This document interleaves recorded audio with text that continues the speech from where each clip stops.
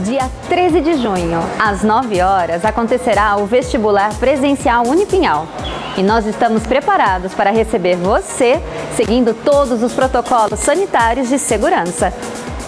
Lembre-se que é obrigatório o uso da máscara facial em todas as dependências do Unipinhal e que também é importante manter o distanciamento social.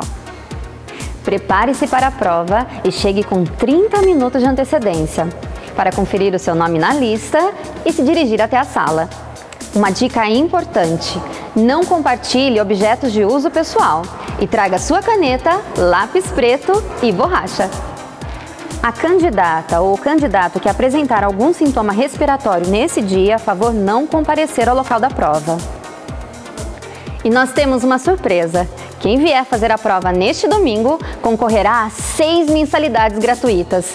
Serão sorteadas seis bolsas de estudos. Confira o regulamento em nosso site. Nós esperamos por você e desejamos uma boa prova. Prepare-se para um novo mundo. Venha ser Unipinhal!